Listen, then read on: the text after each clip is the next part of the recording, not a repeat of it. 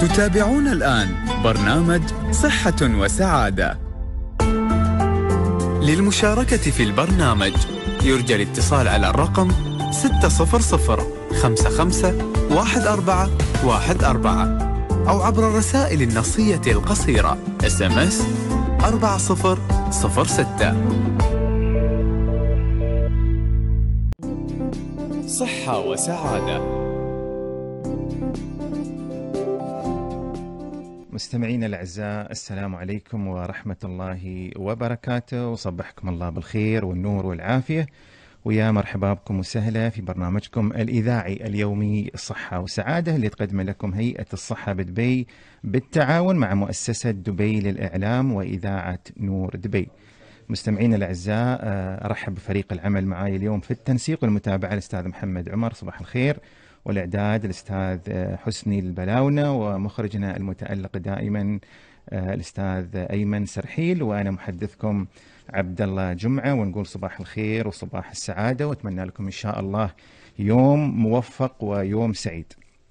مستمعينا الأعزاء مثل ما عودناكم دائما فقرتنا الأولى بتكون مع زميلتنا أسماء الجناحي وبندردش معاها عن ما يستجد في موضوع ال social media ولكن قبل هذا أحب أني أذكركم بأرقام التواصل معنا على 600 خمسة خمسة واحد أربعة واحد أربعة وعبر الرسائل النصية القصيرة SMS أربعة صفر صفر ستة.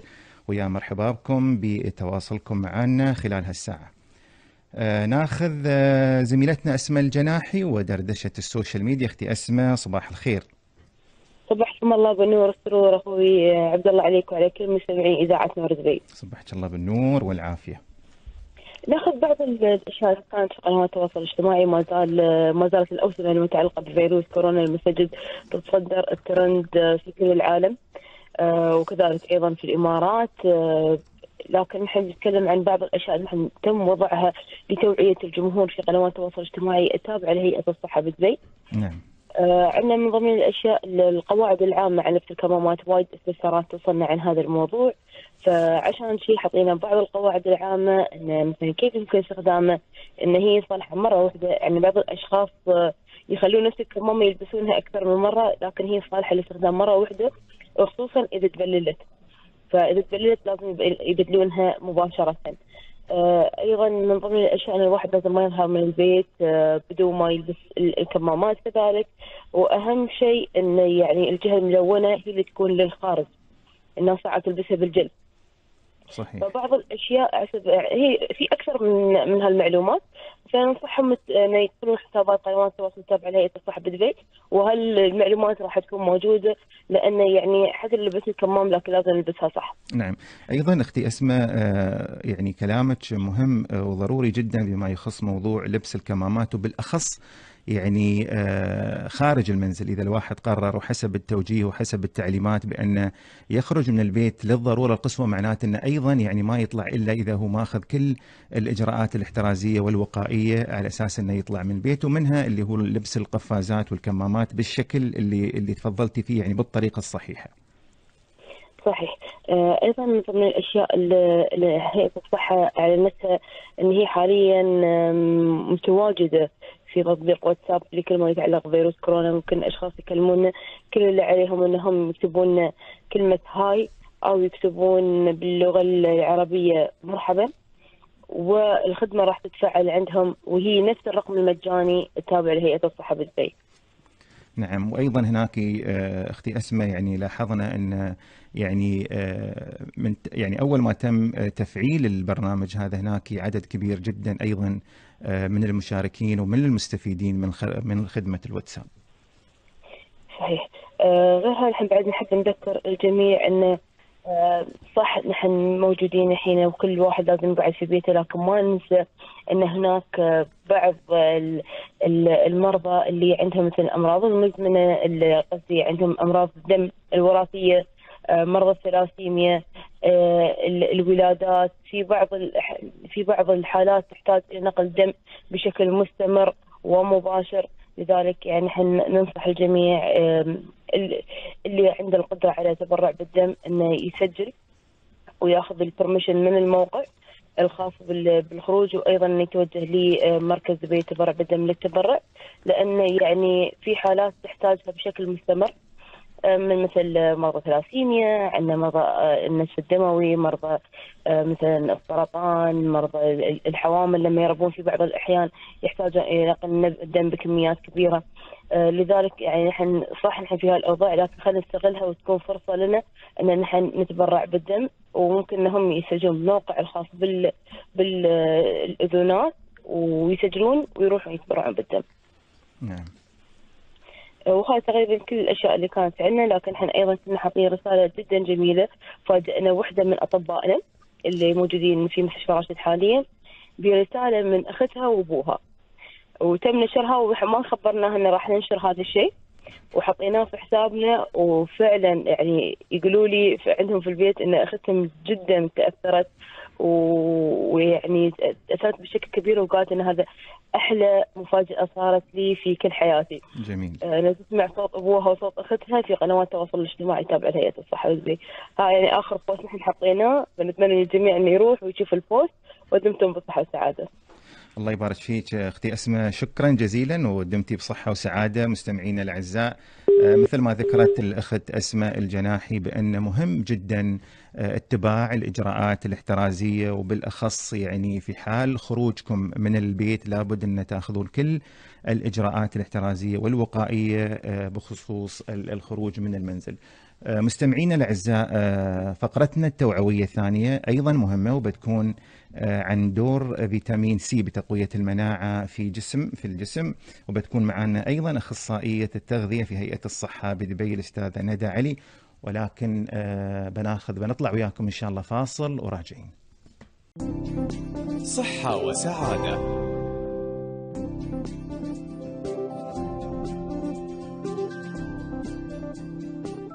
مستمعينا الأعزاء يا مرحبا بكم وسهلا ورجعنا لكم مرة ثانية ويا مرحبا بكل من انضم إلينا الحين وارحب فيكم جميعا في برنامجكم الإذاعي اليومي صحة وسعادة تقدم لكم هيئة الصحة بدبي بالتعاون مع مؤسسة دبي للاعلام وإذاعة نور دبي.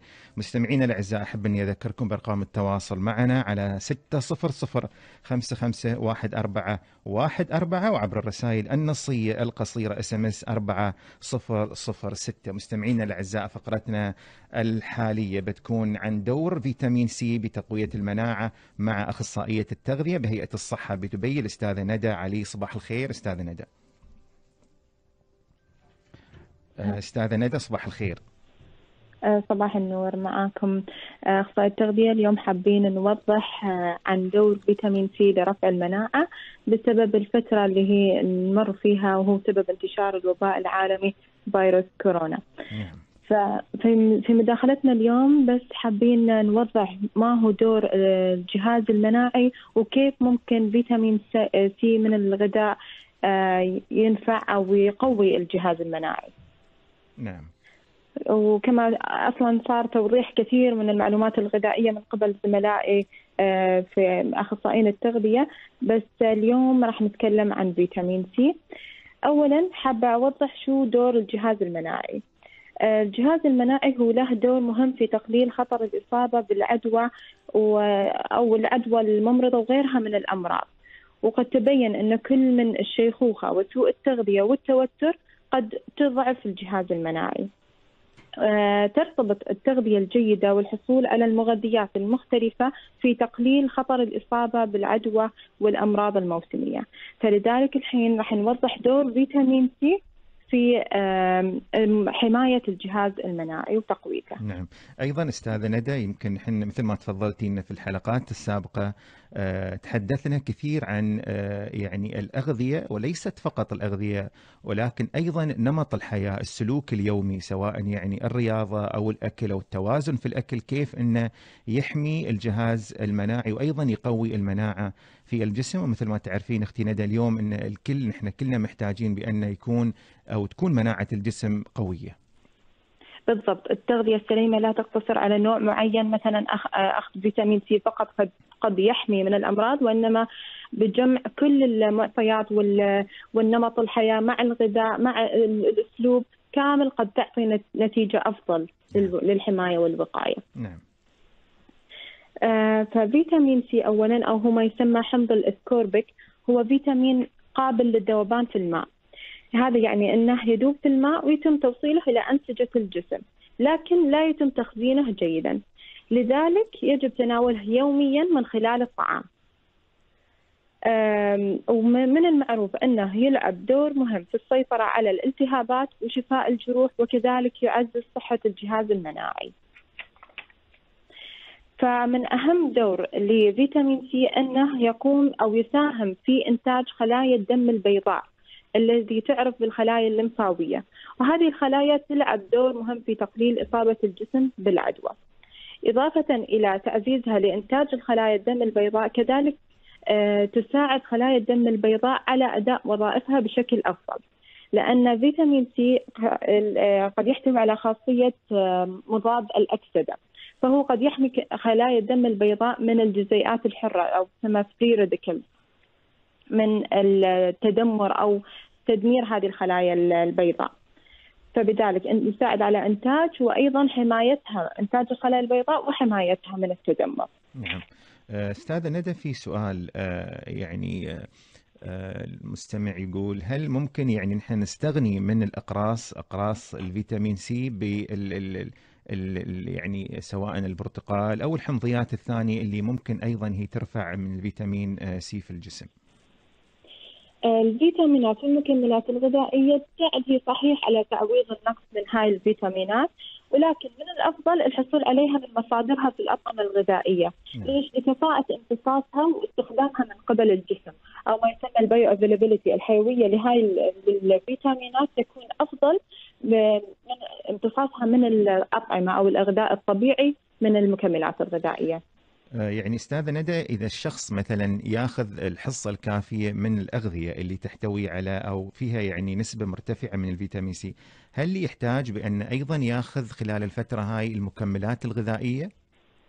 لا لأن اولا احتياج الجسم الإنسان سواء كان للرجال 90 ملي جرام وللنساء من 75 ملي جرام من فيتامين سي هذا في اليوم.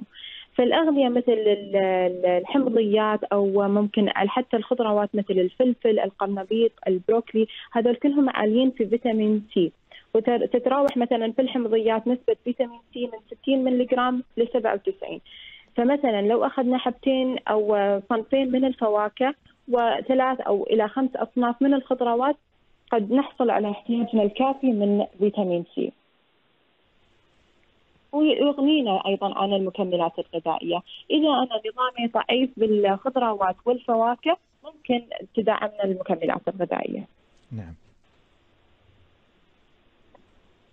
تفضلي. وحبيت بس أوضح إن أفضل شيء هو تناول الأغذية بنظام متوازن اللي هو من ناحية إدخال الفواكه والخضروات كذلك الحبوب والطعام الكامل في نمط الحياة. نعم. آه، أستاذة ندى علي أخصائية التغذية في هيئة الصحة بدبي شكرا لك. الله يحييك مستمعينا الأعزاء آه، فقرتنا الثانية أو بتكون عندي آه، الدكتور وليد الفيصل استشاري الصحة العامة بهيئة الصحة بدبي وموضوعنا بيكون عن الشائعات المتعلقة بأمراض أو بانتقال الكورونا فيروس ولكن مستمعينا الأعزاء آه، فاصل إن شاء الله وراجع لكم. صحة وسعادة. مستمعينا الأعزاء يا مرحبا بكم وسهلا مرة ثانية رجعنا لكم يا مرحبا بكم في برنامجكم الإذاعي اليومي صحة وسعاده تقدم لكم هيئة الصحة بدبي بالتعاون مع مؤسسة دبي للإعلام وإذاعة نور دبي. أحب أذكركم مستمعينا الأعزاء بأرقام التواصل معنا على 600 5514 14 وعبر الرسائل النصية القصيرة 4006. مستمعينا الأعزاء هناك بعض الرسائل أو رسالة اليوم أفضل طريقة لمنع العدوى هي تجنب التعرض لهذا الفيروس من خلال اتخاذ الخطوات التالية. تجنب الاتصال الوثيق مع أي شخص تظهر عليه أعراض أمراض الجهاز التنفسي. اغسل يديك بانتظام وبشكل كامل بالماء والصابون لمدة 20 ثانية على الأقل واستخدام معقم اليدين إذ لم يتوفر الماء والصابون. وأخيرا تجنب ملامسة العينين والأنف والفم بأيدي غير مغسولة. مستمعينا الأعزاء الشائعات المتعلقة بانتقال الكورونا فيروس آه بيكون معنا اليوم الدكتور وليد الفيصل استشاري الصحة العامة بهيئة الصحة بدبي. دكتور وليد صبحك الله بالخير والنور والعافية. أهلا وسهلا. حياك الله دكتور وليد. ومثل ما تعرف إن هناك الكثير من الشائعات المتعلقة بانتقال الكورونا فيروس. آه، دكتور هناك طبعا الكثير من ال ال ال يعني الحديث حول انتقال ال- الكورونا فيروس. ما هي الطرق أو يعني طرق انتقال ال- المرض التي تم إثباتها دكتور يعني يعني بطرق علمية حتى الآن؟ طبعا حتى آه، نج- نجيب على هذا السؤال يجب أن نعرف أن آه، المسألة تتعلق بثلاث عوامل هي المخرج من أين يخرج الفيروس من الجسم أين يكون ومن أين يخرج وطريقة الانتقال وطريقة الدخول. وأهم ما يمكن أن نركز عليه من أجل الوقاية هو المخرج حيث حاليا آه، ما هو مثبت أن المخرج هو ال- الفم والأنف مع الكلام والسعال والعطس. ويخرج عن طريق قطيرات. تخرج أثناء السعال والعطس وهذه القطيرات هي متفاوتة في الحجم. فيمكن أن تنتقل لمسافات متفاوتة بصورة مباشرة إلى أشخاص آخرين موجودين بنفس المكان أو أنها تسقط على ال- الأرض أو المعدات المحيطة. وبالتالي آه، تكون طريقة الانتقال إما الطريقة المباشرة بالرذاذ ال- الذي يخرج من المصاب أو عن طريق التماس مع الأسطح الملوثة. وهذه هي الطريقة الأساسية. أما ما قيل عن آه، آه، الانتقال بالهواء فهو ما زال حتى اليوم آه، يفتقر إلى المستند العلمي أو البينة العلمية القوية. حيث أن منظمة الصحة العالمية أشارت إلى أنه يمكن في بعض الأماكن ال- ال- ال- أو أماكن الخدمات الطبية التي تستخدم معدات ضخ الهواء أو الإيروزول ما يسمى الإيروزول نعم. جنريشن باللغة الإنجليزية. نعم. فهي معدات ضخ الهواء يمكن أن تعيد إثارة ما سقط على آه، المعدات.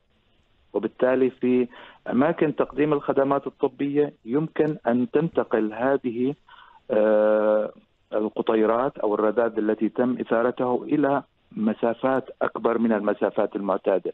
يعني في آه، ما ما نتعارف عليه أن الانتقال يمكن أن يكون إلى مسافة متر أو متر ونص. وبالتالي نطلب من الناس التباعد الاجتماعي لقدر آه، مسافة على الأقل مترين بين الأشخاص حتى لا تنتقل القطيرات بصورة مباشرة ولكن في الأوضاع الطبية في أوضاع تقديم الخدمات الطبية يمكن أن نطلب تطبيق احتياطات خاصة هي احتياطات الهواء. لم تقل منظمة الصحة العالمية أن المرض ينتشر بالهواء وإنما قالت طبقوا احتياطات الانتقال في الهواء في مواقع تقديم الخدمات الطبية. نعم. آه، أيضا دكتور يعني آه، موضوع آه، تحدثنا نحن كثير عن أهمية ارتداء الكمامات في الوقاية من العدوى وأهمية الإجراءات الاحترازية الأخيرة التي اتخذتها الدولة آه، للوقاية من العدوى بما فيها ضرورة ارتداء الكمامات. لو تحدثنا دكتور في هذا الموضوع. طبعا ارتداء الكمامات هي آه، من الوسائل المهمة التي يجب تطبيقها بحسب ما أوصت الجهات الرسمية. ويجب آه، أن نتفق على آه، بمنتهى الأهمية. أن الكمامة هي إحدى الوسائل نعم. ويجب أن لا تلهينا عن استخدام الوسائل الأخرى اللي ذكرتها حضرتك في البداية اللي هي غسل اليدين وتغطية الفم والأنف واتخاذ مسافة معينة من الأشخاص المصابين. يعني هاي هي الوسائل عفوا الوسائل الهامة. وارتداء الكمامة هو وسيلة مكملة. نعم. عفوا. يعني ال- الكمامة هي التي تمنع الفيروس من الانتقال بصورة مباشرة عندما يخرج من الفم والأنف وبالتالي هي وسيلة بمنتهى الأهمية ويجب تطبيقها بحسب ما أوصت ال- الجهات الرسمية. وما يجب أن نعرفه عن استخدام ال- الكمامة هي مجموعة من الأمور. أن منعها لانتقال الفيروس هو منع نسبي وأحسن أنواع الكمامات التي تمنع إلى درجة 95% دخول الفيروس إلى الأشخاص هي كمامة N95 نعم. ولذلك يجب آه، أن نستخدم الكمامة ونستخدمها بوعي خاص بأنها ليست الوسيلة الوحيدة وننتبه أثناء ارتداء الكمامة إلى تطبيق الوسائل الأخرى. نعم أيضا دكتور. نعم تفضل. نعم. م- لا أعرف إذا كان الوقت يسمح أو تفضل دكتور. تفضل. لشرح طريقة ارتداء الكمامة. تفضل دكتور. يعني الطريقة مهم جدا أن نتبع ال- الوسيلة الصحيحة والطريقة الصحيحة لارتداء الكمامة لأنه من ملاحظاتنا يعني آه، نجد أنه أكثر من 90% من الأشخاص لا يستخدمون الكمامة بالصورة الصحيحة وبالتالي يجب البدء بغسيل اليدين في الكمامة المسطحة الموجودة بصورة شائعة. آه، هناك جزء معدني من الأعلى. يجب أن يكون الجزء المعدني أو الشريحة المعدنية من الأعلى. وأن نمسك الكمامة من هذا الطرف ونقولبها في البداية على الأنف. ونتجه بعد ذلك إلى الجزء المطاطي ونضعه خلف الأذنين. نعم. آه، بعد ذلك نسحب الكمامة من الأسفل لتغطية الأنف والفم. يجب تغطية الأنف والفم كلاهما. صحيح. لأن دكتور فعلا هناك في بعض الممارسات الخاطئة باستخدام الكمام. يعني إحنا نلاحظ في كثير من الناس يلبسون الكمام ولكن آه، غير مغطى الأنف وهو الجزء المهم أتوقع دكتور. نعم صحيح 100% نعم. الأنف مهم مثل الفم ويخرج منه يعني السائل والرذاذ ويعني المفرزات المختلفة التي تحتوي على الفيروس ويمكن أن تنقله وتلوث به الأسطح المختلفة الموجودة حولنا. نعم. آه، بعد ذلك يجب تجنب لمس الكمامة من الأمام لأن هذه المنطقة تعتبر منطقة ملوثة. وارتداء الكمامة لمدة لمرة واحدة ولمدة أربعة إلى ثمان ساعات آه، في المرة الواحدة. وعند نزعها يجب البدء من خلف الأذنين. نزع الجزء المطاطي من خلف الأذنين وعدم ملامسة الكمامة من أي جهة كانت والتخلص منها في سلة مهملات مغلقة. وبعد التخلص منها يجب أيضا غسل اليدين. يعني البدء بغسل اليدين بالطريقة الصحيحة والانتهاء بغسل اليدين بالطريقة الصحيحة. نعم. آه، أيضا دكتور يعني آه، نبغي نتحدث معك عن الفئات الأكثر عرضة للإصابة بالكورونا فيروس. طبعا آه، يعني آه، تكلمنا عن الفئات الأكثر عرضة نعم. فنقول أن جميع فئات المجتمع هي معرضة. عندما يخرج الفيروس وينتشر لا يعرف كبير أو صغير لا يعرف ذكر أو أنثى هو ينتشر للجميع. والجميع معرضين للإصابة. ولكن السؤال الأهم هو من هو الأكثر عرضة للشكل الأشد خطورة من المرض؟ صحيح. يعني ذكرت الإحصائيات المتوافرة حتى اليوم أن المرض يكون آه، خفيف الشدة في نسبة أكثر من 80% من الحالات ويكون أشد خطورة على ال- الكبار بالسن والأشخاص المصابين بأمراض مزمنة مثل أمراض القلب والداء السكري. نعم. وبالتالي يمكن عند ال- يعني يعني بهذه الطريقة ليس خطره خطر مطلق وإنما خطر نسبي. يعني بمعنى أن الأشخاص فوق الستين سنة من العمر أثبتت الإحصائيات حتى اليوم أن نسبة الوفاة بينهم تكون حوالي 10% والذين فوق الثمانين سنة من العمر تزيد نسبة الوفاة إلى درجة ممكن تبلغ 20% نعم. ولذلك يعني يجب أن آه، نولي هذه الفئات آه، يعني أهمية أثناء تفكيرنا في وسائل الوقاية والمكافحة. نعم.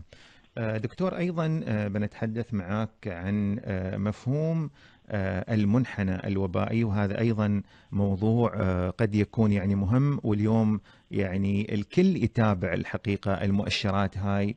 آه، فنتحدث معك ما هو مفهوم المنحنى الوبائي؟ وأيضا ما هو دور آه، المجتمع في تخفيض هذا المنحنى؟ المنحنى الوبائي هو وسيلة لرصد آه، تزايد أو تناقص عدد الحالات أثناء حدوث الوباء. وبالتالي يمكن آه، التزايد يكون سريع جدا ويصل إلى قمة عالية أو يكون متباطئ ونستطيع من خلاله أن آه، يعني نتصرف بكل راحة في المجتمع. وبالتالي ما نريد من المجتمع أن يساعدنا وأن نتعاون معه عليه أن نجعل هذا التزايد تزايد بطيء. يعني آه، المنحنى يرصد التزايد في البداية نعم وبعد ذلك آه، مرحلة يحدث فيها ما نسميه التسطيح يعني الثبات في تزايد عدد الحالات وبعد ذلك التناقص نعم فنريد أن نصل بسرعة لمرحلة التسطيح ومرحلة التناقص والتناقص. وهذا لا يحدث إلا بمشاركة جميع أفراد المجتمع، جميع أطياف المجتمع ومساعدتهم في تطبيق الإجراءات الاحترازية التي توصي بها الجهات الرسمية.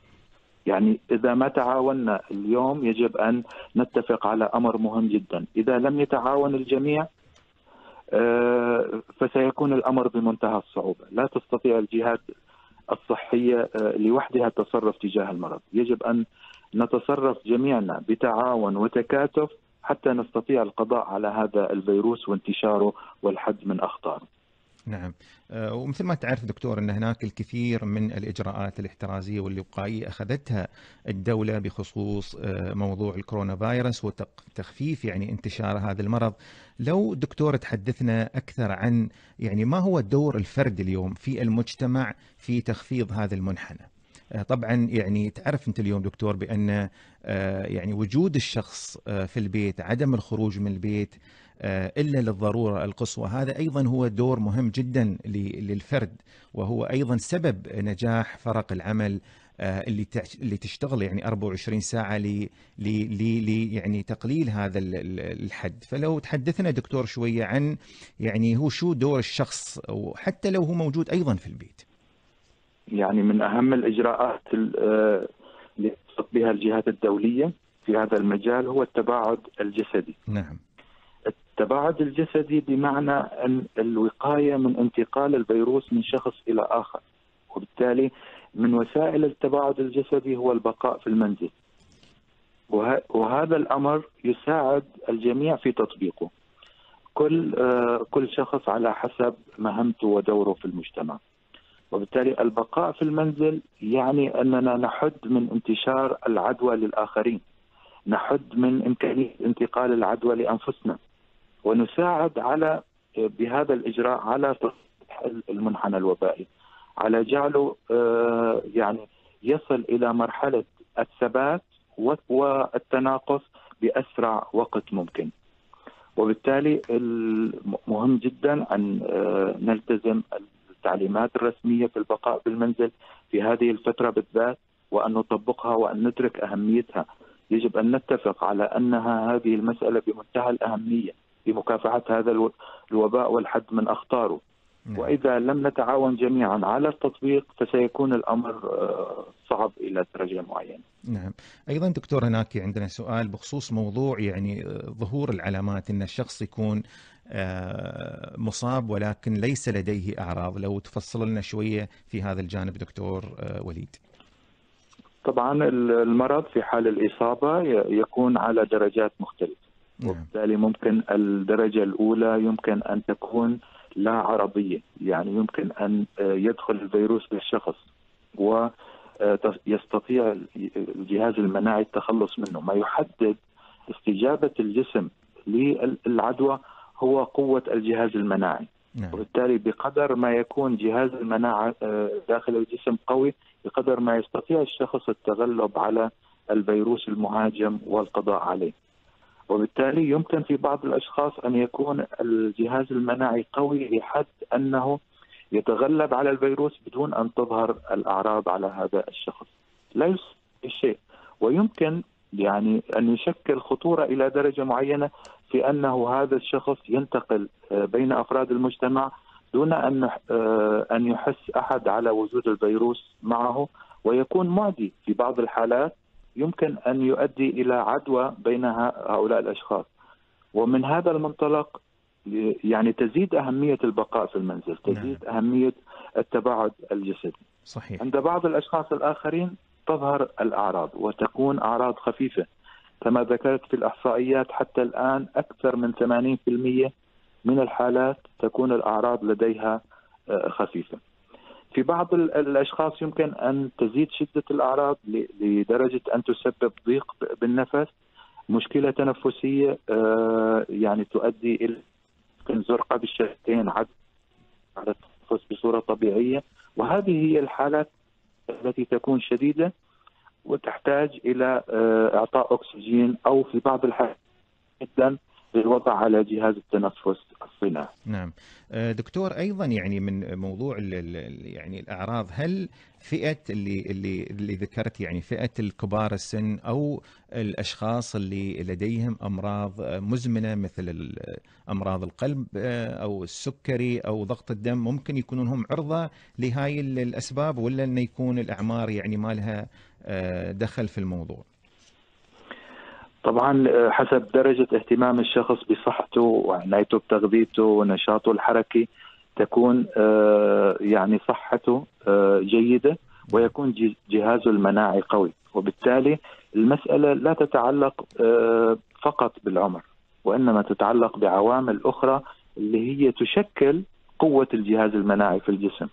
وبالتالي يمكن أن يكون شخص عمره 70 سنة ولكن جسمه قوي ما زال محافظ على صحته آه، تغذيته جيدة نشاطه الحركي جيد ويستطيع أن يقاوم آه، لدرجة قوية آه، هذه العدوى. نعم.